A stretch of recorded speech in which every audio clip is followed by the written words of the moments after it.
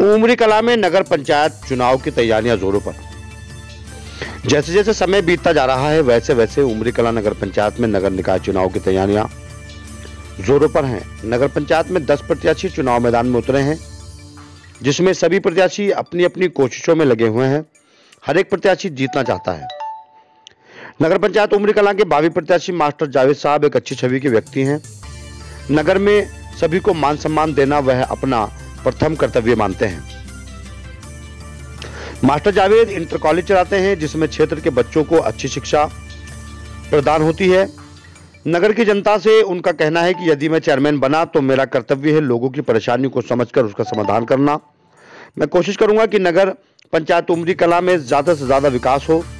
नगर में मास्टर जावेद को लोग पसंद कर रहे हैं, क्योंकि ये एक अच्छी छवि के व्यक्ति हैं। मास्टर जावेद घर घर जाकर वोट मांगने की प्रतिक्रिया को आगे बढ़ाते हुए जनता के हालातों का जायजा ले रहे हैं। नगर पंचायत उमरी कला कई बड़े समूह मास्टर जावेद के साथ कंधे से कंधा मिलाकर चल रहे हैं। मालूम होता है कि इस बार जावेद ही नगर की बागडोर संभालेंगे। मास्टर जावेद को लगातार जनता का प्यार व आशीर्वाद मिल रहा है।